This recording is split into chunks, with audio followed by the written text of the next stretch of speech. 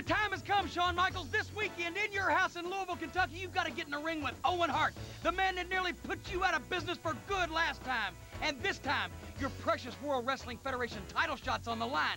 We goaded you into doing exactly what we wanted. And now, he's gonna go to WrestleMania. There's no doubt about it, Shawn Michaels. Two things are gonna happen at In Your House. First of all, I am gonna end your career like I should have done the first time.